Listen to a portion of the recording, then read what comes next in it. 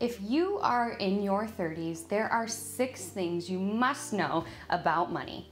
By the time you're in your 30s, you can no longer claim to just not care about it or to think about your money later on or think that you've got plenty of time.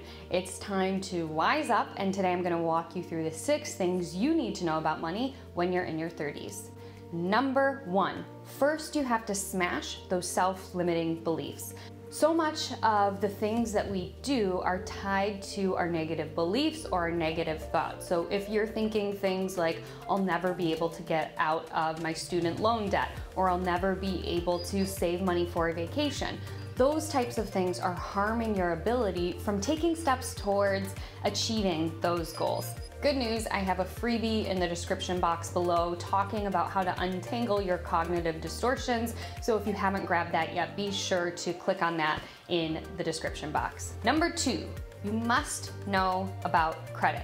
Not just your credit report, but also your credit score. And it doesn't matter if you feel like you want to pay cash for everything and credit doesn't matter. The reality is that having a good credit score means that you are going to be more desirable when it comes to things like finding a new apartment, when it comes to things like purchasing a car or maybe even a house. If you have good credit, what that is telling the lenders is that you are worthy of getting a loan and getting it at a decent rate. The worse your credit is, the more likely it is that you'll get denied for things like loans or credit cards.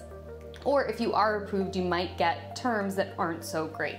So you want to make sure that you know what your credit is. You can check it out um, at a bunch of different websites, Credit Karma, Credit Sesame, annualcreditreport.com. Yes, know your credit score, know what's on your credit report, make sure there's nothing fraudulent on there. Number three, life insurance. This is one of those things that people get freaked out about. They think it's a scam. Um, they don't want to think about it because it means you have to think about death or dying. But the reality is that having life insurance helps to protect you and your loved ones. It's especially important if you have children or if you have a partner. You want to make sure that you're insured for enough so that if something were to happen to you, your family, your partner would be able to continue life um, as they already are able to live it now. Number four is make sure you are investing in retirement. Um, Erin Lowry has a new book out called Broke Millennial Takes on Investing, and she talks about the importance of making sure that we're switching the language we use from saving for retirement to investing for retirement. And by the time you're in your 30s, um, the general rule of thumb is you want about two times your annual salary already invested in your retirement account. Um, so make sure to look up things like your 401k or 403b if you have an employer. If you are self-employed, you can look into things like a SEP or a solo 401k, and anyone can look into whether or not they meet criteria for a Roth IRA or traditional IRA.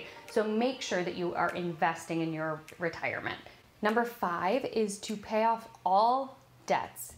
I know this one is controversial, and I know some people say that it's fine to keep your debt because, especially if you have a low interest rate, you can probably earn more in the stock market, so it's it's fine, keep your debt.